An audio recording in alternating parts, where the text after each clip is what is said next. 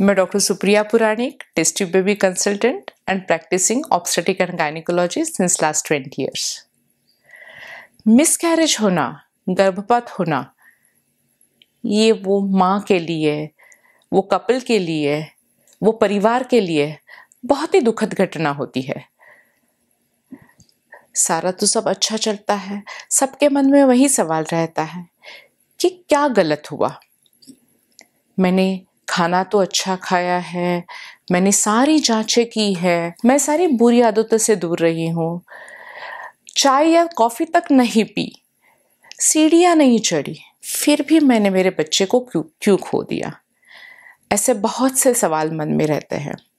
तो आज इस वीडियो में हम देखने वाले हैं, ये मिसकैरेज अबॉर्शन ये क्या होता है? ये क्यों होता है? और उससे बचाने के लिए हमें अगली प्रेगनेंसी में क्या करना चाहिए? पहले पाँच महीनों में शिशु का माँ के बच्चादानी में खराब हो जाना, उसको हम मिसकैरेज या गर्भपात बोलते हैं। अभी हम देखने वाले हैं कि इसके लक्षण क्या होते हैं। जब गर्भपात होता है मिसकैरेज होता है तो कभी ब्लीडिंग होना शुरू हो जाता है। वजाइना से योनि मार्ग से। कभी हल्का ब्लीडिंग होना शुरू जाता है, कभी हेवी ब्लीडिंग होना शुरू जाता है। कभी कभी ये ब्लीडिंग पेन के साथ होता है। कमर में दर्द होता है, पेट में दर्द होता है और ये दर्द की इंटेंसिटी बढ़ती ही जाती है। कभी कभी एक बड़ा सा क्लॉट बाहर आ जाता है। लेकिन कभी ऐसे भी हो जाता है कि बिल्कुल तकलीफ़ नहीं रहती, लेकिन हम जब सोनोग्राफी के लिए जाते हैं, तब पता चलता है कि अपने शिशु की दिल की धड़कन रुक गई है। बेबी अंदर स्टॉप हो गया है। तो इसको भी हम मिसकैरेज या अबॉर्शन बोलते हैं। पहले तिमाही में जो अबॉर्शंस होते हैं, उसके रीजंस डिफरेंट रहते हैं और दूसरे तिमाही में जो अबॉर्शंस होते हैं उसके भी रीजंस डिफरेंट होते हैं। पहले तिमाही में जो अबॉर्शंस होती है, उसको हम अर्ली अबॉर्शंस बोलते हैं और दूसरे तिमाही में जो अबॉर्शंस होते हैं, उसको हम लेट अबॉर्शंस बोलते हैं। कभी कभी ये अबॉर्शंस बार बार भी होते हैं और उस अबॉर्शंस की वजह हो, उसके रीजंस भी काफ़ी अलग रहते हैं। तो आज इस वीडियो में हम जानने वाले हैं, पहले तिमाही में अबॉर्शन क्यों होता है? ये पहले तिमाही में होने वाला अबॉर्शंस में बहुत ही महत्वपूर्ण कारण होता है genetic defect in that baby ये जेनेटिक डिफेक्ट ये गुणसूत्र में दोष होते कैसे हैं? माँ को भी कुछ जेनेटिक डिसीज नहीं है, पिता को भी कोई जेनेटिक डिसीज नहीं है तो फिर ये बेबी को, ये भ्रूण को ये जेनेटिक डिफेक्ट कैसे होता है? तो इसके लिए हम जानेंगे बेबी कैसे बनता है? बेबी माँ के एक से और पिता के शुक्राणु से बनता है। जब ये स्पर्म्स और एक तैयार होते हैं तो ये क्रोमोसोम्स के डिवीज़न से होते हैं, गुणसूत्र के विभाजन से होते हैं। हमारे शरीर का प्रत्येक पेशी में 46 chromosomes and X and Y ये सेक्स क्रोमोसोम रहते हैं। लेकिन जब अंडे और स्पर्म बनते हैं तो ये 23 के मात्रा में 23 के लड़ी में रहते हैं। कभी कभी ये डिवीज़न प्रोसेस में गड़बड़ी हो जाती है। और ये डिवीज़न प्रोसेस में कभी कभी 22 ही क्रोमोसोम्स आते हैं, कभी 24 क्रोमोसोम्स आते हैं, और फिर बच्चे में, बच्चे के जीन्स में डिफेक्ट होने के चांसेस बढ़ते हैं। हर एक स्पर्म हर एक अंडा ये परिपूर्ण नहीं रहता। जब ये डिफेक्टिव एग या डिफेक्टिव स्पर्म इससे बेबी बनता है तो ये बेबी बड़ा होने की तो उस बेबी में बड़े होने की क्षमता नहीं रहती। एंड यूजुअली प्रकृति ही उस पर डिसीज़न लेती है और जेनेटिकली बहुत ही अबनॉर्मल जो बेबी रहता है, उन, उनकी ग्रोथ अपने आप ही पहले तीन तिमाही में रुक जाती है। कभी दिल की धड़कन शुरू ही नहीं होती, कभी शुरू हो जाती है, वो बंद हो जाती है और पहले बारह सप्ताहों में ये प्रेगनेंसी खराब हो जाती है। और एक कारण, माँ के उम्र से भी जुड़ा होता है।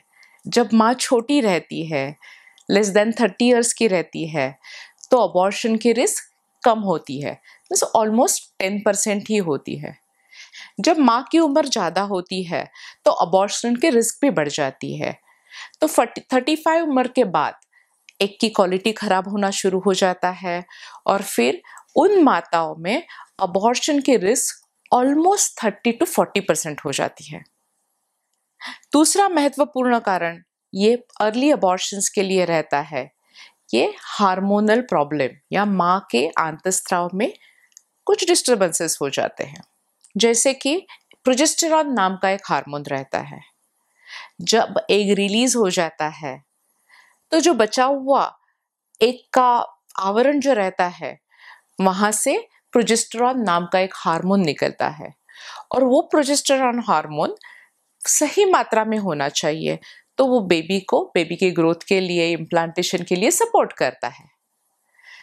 लेकिन ये प्रोजेस्ट्रॉन की मात्रा कभी कभी बहुत ही कम रहती है। उसको ल्यूटियल फ़ेज़ डिफेक्ट एलपीडी के नाम से जाना जाता है। जब ये ल्यूटियल फ़ेज़ डिफेक्ट रहते हैं तो प्रोजेस्टेरॉन जो हार्मोन बेबी को सपोर्ट करता है, उसकी मात्रा बहुत ही कम हो जाती है और फिर अबॉर्शंस हो जाते हैं। दूसरा इंपॉर्टेंट हार्मोन रहता है थायराइड कभी थायराइड की मात्रा ज़्यादा होती है, कभी थायराइड की मात्रा बहुत कम होती है। जब थायराइड में ऐसे डिस्टर्बेंसेस होते हैं तो भी पहले तिमाही में अबॉर्शन होने के चांसेस रहते हैं।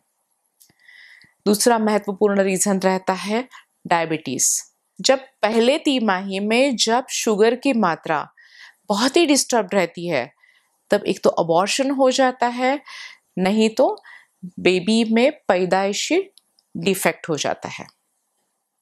और एक महत्वपूर्ण कारण रहता है पीसीओडी उसमें भी हार्मोन्स में बदलाव होते हैं और वो एक क्वालिटी पे अफेक्ट करता है। और ये भी एक इंपॉर्टेंट रीज़न रहता है कि पहले तिमाही में अबॉर्शन हो जाता है। तो तो हार्मोन्स में बदलाव में थायराइड में गड़बड़ी शुगर में गड़बड़ी पीसीओडी जैसे प्रॉब्लम और प्रोजेस्ट्रॉन की मात्रा कम हो जाना। तो इस वजह से अबॉर्शंस हो जाती है and almost ten to fit fifteen percent abortion पहले तिमाही में ये हॉर्मोन्स के बदलाव के कारण हो जाती है। तीसरा महत्वपूर्ण कारण अर्ली अबॉर्शंस के लिए रहता है इम्यूनोलॉजिकल प्रॉब्लम ये इम्यूनोलॉजिकल अबॉर्शंस में स्पर्म के अगेंस्ट एंटीबॉडी शरीर में तैयार होते हैं। स्पर्म से बना एम्ब्रियो भ्रूण माँ की बॉडी एक फॉरेन मटेरियल समझ के बाहर फेंक देती है, वो ग्राफ्ट को रिजेक्ट कर देती है। और ये भी एक इंपॉर्टेंट रीज़न होता है अबॉर्शन के लिए। और दूसरा महत्वपूर्ण कारण ये इम्यूनोलॉजिकल अबॉर्शंस में रहता है, वो एंटीफॉस्फोलिपिड सिंड्रोम ये एंटीफॉस्फोलिपिड सिंड्रोम में माँ के शरीर में एंटीफॉस्फोलिपिड एंटीबॉडीज तैयार होते हैं।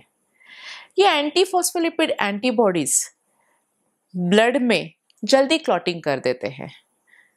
जब बेबी भ्रूण माँ से अटैच होना शुरू हो जाता है इम्प्लांटेशन होना शुरू जाता हो, हो जाता है तब माँ में और बेबी में प्लेसेंटा नाम का एक यूनिट रहता है वार जो रहती है इसमें से ब्लड कनेक्शन डेवलप हो जाता है। लेकिन ये एंटीफॉस्फोलिपिड सिंड्रोम में जो ये प्लासेंटल वेसल्स छोटे छोटे ब्लड वेसल्स रहते हैं, जिससे बेबी को खून मिलता है, वो सारे क्लॉग हो जाते हैं और उसमें का ब्लड गाढ़ा हो जाता है और बेबी की तरफ़ जाने वाला ब्लड फ्लो रुक जाता है और बेबी के हार्ट बीट्स बंद हो जाते हैं और हम इस सिचुएशन में अपने बच्चे को खो देते हैं। और चौथा महत्वपूर्ण कारण अबॉर्शंस के लिए रहता है इन्फेक्शन ये इन्फेक्शन पाँच परसेंट अबॉर्शन को कारणीभूत रहता है। ये इन्फेक्शन कभी वायरल होता है, कभी बैक्टीरियल होता है, कभी पैरासिटिक होता है। पहले तिमाही के अबॉर्शन में बहुत बार टॉर्च जिम्मेदार है, ऐसे कहा जाता है। ये सरासर मिथ है। वो टॉर्च के इन्फेक्शन की वजह से अबॉर्शन से ज़्यादा बेबी में डिफेक्ट आने की संभावना ज़्यादा होती है। लेकिन माँ के शरीर में पहले से ही ये टॉर्च के लिए एंटीबॉडीज मौजूद रहती है तो ये टॉर्च का इन्फेक्शन कभी भी बेबी को खराब नहीं कर सकता। इसीलिए टॉर्च ये एक सरासर मिथ माना जाता है। लेकिन 30 टू 40 प्रतिशत पहले तिमाही के अबॉर्शन के लिए रीज़न ही समझ में नहीं आता है। तो उसको हम अनएक्सप्लेन रीज़न बोलते हैं और उसका एक इंपॉर्टेंट रीज़न एनवायरमेंटल फैक्टर भी रहता है। जैसे कि किसी दवाइयों का एक्सपोजर कभी टॉक्सिक गैसेस का एक्सपोजर कभी सिगरेट स्मोकिंग की वजह से होता है, कभी शराब से होता है, कभी तम्बाकू टोबैको के वजह से भी होता है। तो ये बहुत सारे फैक्टर्स रहते हैं और ये हमें समझ में नहीं आते, उसको हम अनएक्सप्लेन्ड फैक्टर्स बोलते हैं, जो रिस्पॉन्सिबल रहते हैं पहले तिमाही के अबॉर्शंस के लिए। जो ये पहले तीन महीने में होने वाले अबॉर्शन से बचने के लिए हमें क्या सावधानी बरतनी चाहिए? जो जेनेटिक रीज़न होते हैं, उनमें तो कोई खास ट्रीटमेंट नहीं रहती, क्योंकि हर बार का अंडा और स्पर्म खराब तो नहीं हो सकता, लेकिन ये अंडे की क्वालिटी ये स्पर्म की क्वालिटी अच्छी रखने के लिए हम हेल्दी लाइफस्टाइल अपनाएँगे। हमारे खान पान पे ध्यान रखेंगे, हम बैलेंस डाइट लेंगे रेगुलर एक्सरसाइज करते रहेंगे, हम अच्छी मात्रा में folic acid vitamin B twelve vitamin D three की मात्रा हम लेते रहेंगे और उसके साथ ही साथ हम तो दोनों के लिए एंटीऑक्सीडेंट लेने की भी सलाह देते हैं। जो दूसरा इंपॉर्टेंट रीज़न रहता है हार्मोनल कारण। तो ये अबॉर्शन प्रोजेस्टेरॉन के डेफिशिएंसी से हुआ रहेगा। तो अगली प्रेगनेंसी में हम शुरू से ही प्रोजेस्टेरॉन की दवाई शुरू कर देते हैं।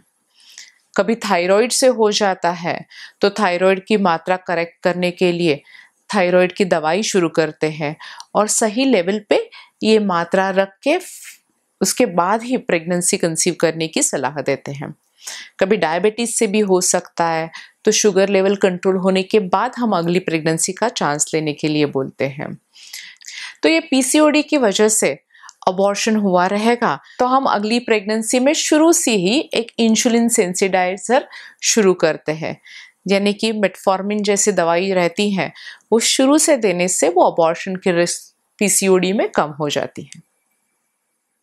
तीसरा महत्वपूर्ण कारण रहता है इम्यूनोलॉजिकल अबॉर्शन और एंटी फॉस्फोलिपिड एंटीबॉडी की वजह से ये अबॉर्शन हुआ रहेगा तो हम शुरू से ही नेक्स्ट प्रेगनेंसी कंसीव करने के पहले से ही एस्पिरिन शुरू कर देते हैं, कभी स्टीरॉयड शुरू कर देते हैं, कभी इम्यूनोसप्रेसेंट्स देते हैं एंड प्रेगनेंसी में अपना ब्लड पतला रखने के लिए हिपेरिन के इंजेक्शन शुरू कर देते हैं। तो पहले तिमाही की ओवरऑल अबॉर्शन की रिस्क कम करने के लिए। हम हमारी लाइफस्टाइल इम्प्रूव करते हैं। हम बुरी आदत से दूर जाते हैं। जैसे कि अल्कोहल रहेगा सिगरेट स्मोकिंग रहेगा टोबैको रहेगा। हमारे आहार में हम कैफीन का सेवन बहुत ही कम कर कर, कर देते हैं। और एक महत्वपूर्ण कारण जो स्ट्रेस रहता है। तो हमें हमारी स्ट्रेस की मात्रा कम करनी चाहिए। तो इस वीडियो में हमने जान लिया, ये पहले तिमाही के अबॉर्शन क्या होता है, उसके कारण क्या रहते हैं, और अगले टाइम इससे बचने के लिए हमें कौन सी सावधानी बरतनी चाहिए। तो अगले आने वाले वीडियोस में हम देखेंगे कि दूसरे तिमाही में जो अबॉर्शंस होते हैं, उसके कारण क्या रहते हैं, और उस अबॉर्शन से हम कैसे बच सकते हैं। उसके साथ ही साथ कई बार अबॉर्शंस बार बार भी होते हैं। तो ये अबॉर्शंस की वजह क्या रहती है? और उससे हम कैसे बचेंगे? आपको इस सब्जेक्ट के बारे में कोई प्रश्न रहेंगे, कुछ क्वेरीज रहेगी तो आप हमें ज़रूर ईमेल कर दीजिए। धन्यवाद।